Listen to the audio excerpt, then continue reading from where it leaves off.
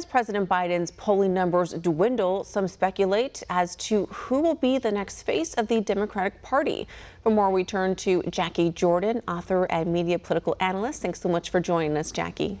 Hi, Natasha. Really good to see you here. Likewise. Thank you. And now let's be honest here. Some Democrats are embarrassed that Biden says that he'll run for a second term. Do you think it's possible for this sitting president to not even win his own party's nomination?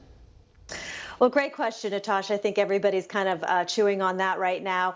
As a media analyst who's kind of who studies media narratives around politics, what I can tell you is that I, I believe that Biden has already done his job. He has accomplished what he is in office for for the Democratic Party, and so polls don't matter for what their long-term agenda uh, is. And they play the long game. The Democrats are really good at playing long game chess whereas the rest of us, good American patriots, are, you know, we are focused on, you know, what we've got to do now, what we're doing today, and we're looking mostly at our local environment. Sure.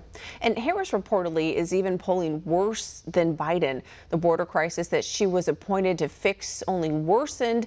Even President Trump went to the border when he was out of office before Harris went. So, why do you believe she's risen to the role as vice president? And how do you see her moving forward after these bad ratings from the American people? Well, I definitely don't see Vice President Harris moving forward in any way. And even her um, position to vice president really was such the race card and not necessary, uh, necessarily a competency card. But I'm just going to share with you and go out on a limb here with a really negative, uh, worst case scenario uh, that I see is that Kamala Harris will be given a backdoor incentive package to step down. And then uh, President Biden will uh, appoint California Governor Gavin Newsom to the vice president spot then Biden will step down before his term is up for all the reasons we think he should step down. And then Gavin Newsom will step up. And then Gavin Newsom will appoint either someone like Stacey Abrams, however, North Carolina probably, they probably really want her in North Carolina and, and will promise her that seat at some other future election. And so then maybe they'll pop in someone like, just, just they'll laugh when I say this, like Meghan Markle, and who is a long term chess game.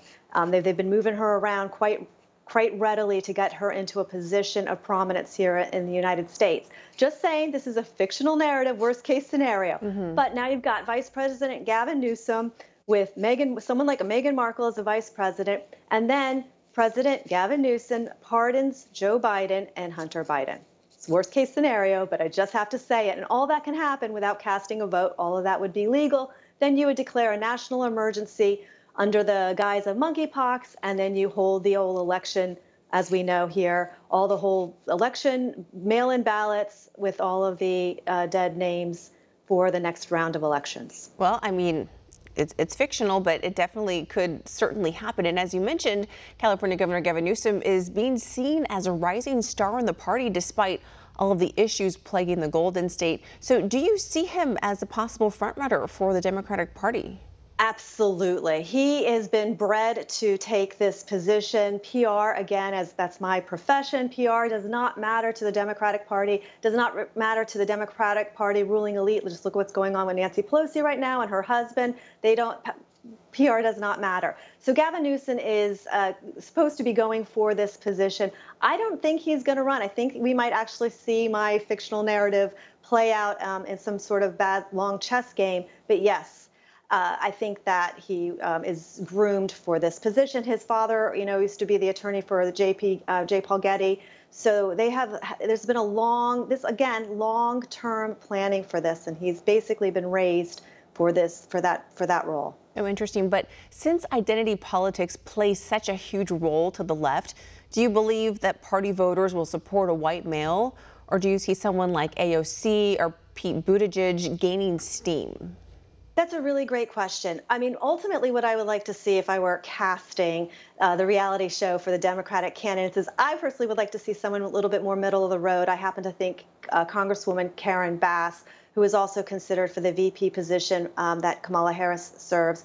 Although I think the Democrats are reserving her for the future mayor of Los Angeles, I think though that she'd be a moderate Democrat if they were uh, moving someone forward. But in casting their reality show, I'd like to see not such colorful people as you know the AOC, um, the Pete Buttigieg, and uh, uh, certainly not uh, Lori Lightfoot um, being pushed up into these prominent positions. I've had a, there's been a reality show I'm ready to like sit this one out for. it sounds like a, a definitely a reality show. Jacquie Jordan, thank you so much for your insight. Thank you.